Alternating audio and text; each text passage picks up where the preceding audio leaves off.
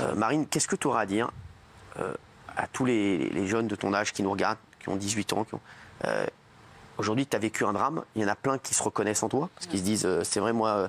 Il y a plein de parents qui doivent nous regarder, qui doivent nous dire j'ai mes parents- enfants qui vont sortir ce soir ou demain. Je vais, je vais, je vais être là, je vais avoir la peur au ventre parce que c'est vrai que ce qui est arrivé à Marine, ça peut arriver là à Nanterre. C'est, franchement voilà. Puis c'est voilà, c'est une banlieue plutôt euh, tranquille, hein, Nanterre, Calme. exactement. Voilà. Euh, donc ça fait, ça fait vraiment flipper.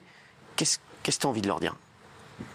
J'ai envie de dire que la vie est une rose.